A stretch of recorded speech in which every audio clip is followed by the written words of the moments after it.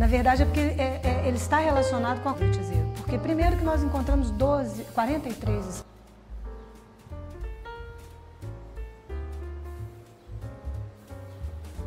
Na verdade, o sítio chama Caixa d'Água e é um Por sítio... que caixa d'água? É, na verdade, é porque é, é, ele está relacionado com a construção da, da, do SAI, que é o sistema de água lá. Eles vão construir um, uma nova uma nova caixa d'água no local e é, passando a máquina, eles encontram então esses sepultamentos e um dos funcionários do da Seu Lídio. o seu Lídio, ele para a obra, liga então para o Museu de História Natural aqui e vai uma equipe lá para ver o que, que é e aí começa todo o processo de Quando foi isso, professor? Foi nos anos 80.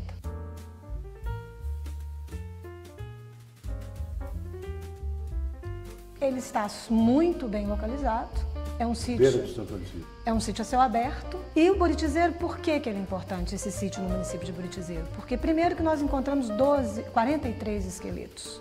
E apesar de estar numa região de, ah, uns, com solo ácido, o, é, o, os esqueletos estavam muito bem conservados.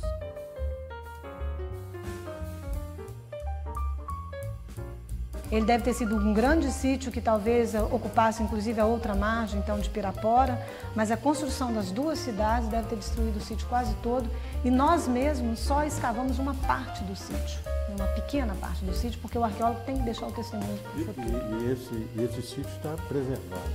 Sim, ele é tombado, existe uma lei de proteção, então o IFAM, que é o Instituto do Patrimônio né, Nacional, Cultural Nacional, ele protege o sítio.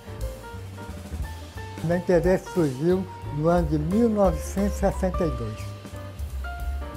Eu comecei a procurar essas peças e que os garimpeiros me mostraram, dizendo que era pedra de corisco, e eu fiquei sabendo que não era pedra de corisco, que era resquícios de povos pré-históricos, aí comecei a juntar.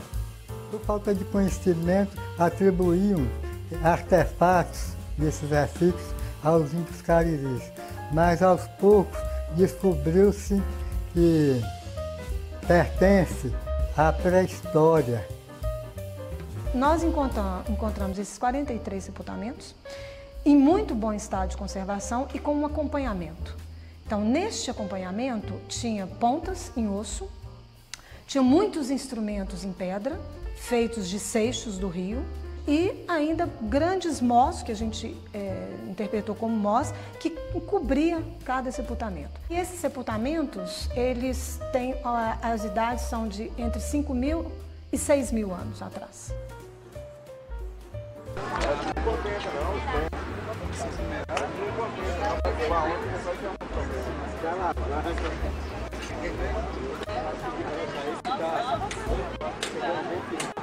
É, é, é.